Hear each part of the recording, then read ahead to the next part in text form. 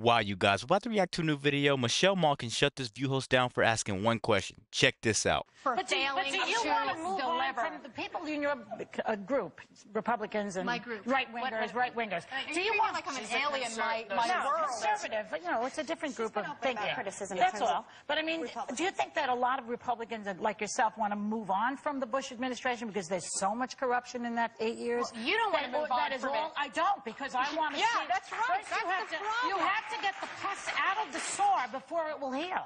Again, you know, Well, we- okay, oh, well, let, me, let, me let me respond to Joy first, and then I, I would love Yeah. to get to the friendlier side of the f- friendly side of the aisle here. I'm Look, being point, friendly. look, I'm not being the, the point is, the point is that the only substantive response to the book so far has been moral equivalence. What about Bush? What about Bush? What about what about Bush? What about Michelle Obama? What about Joe Biden, who has traded on his crony name for the past 30 years, who represented again I- the antithesis ahead, of Sharon. hope Go ahead, and change? change? 'cause- 'cause No, no, because I don't want to take it off the subject of what you're going to. I was just curious.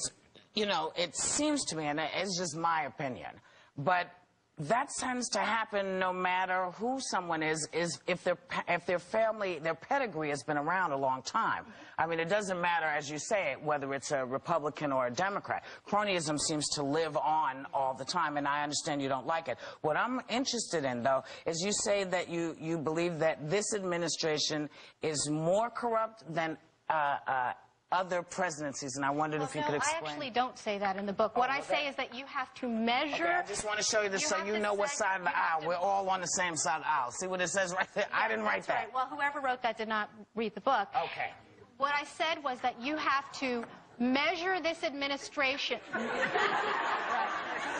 Right. That's not a quote in Yeah, the book. no, no, you I'm can't find that- it. no, Show that's me what I'm where it saying. says that. I- what I'm- I'm I just said I didn't make this up. This what was I'm- just what getting. I'm, what-. What I'm saying, Whoopi, is that you have to measure this administration, Mm-hmm. the principal, foremost agent of everything fresh and clean, hope and Mm-hmm. change. Isn't that what we were sold this last campaign? And he rode in on a horse, a white horse, Mm-hmm. Right. taller than any other in recent uh, memory. Mm-hmm. And like you can talk to any young person who voted for Obama, they thought they were going to get something fresh and clean. We got Tom Daschle, we got Bill Richardson, we got Joe Biden. So what would you we, have done? We have, What- we what have is a, your- let me just, because Yeah, I really I'm- want to get some of the I'm- facts out of the notice book. I'm shutting up. We have a tech, we have a technology. We have Wow, guys, I hate how they say it's all because of Bush. It's all because of Bush. When is it going to be all because Obama? Obama literally sold all Americans a fake dream, and he was one of the most corrupt people on earth. Also, I strongly dislike how they try to misquote her book and lure her into something that they want to push. But she wrote the book, so it's not going to work. This show does the same exact thing that people today they bring on, just more discreetly. Let me know what you guys think about this quick video. Be sure to like, comment, subscribe if you're new, and as always, let me know what to react to. We're out.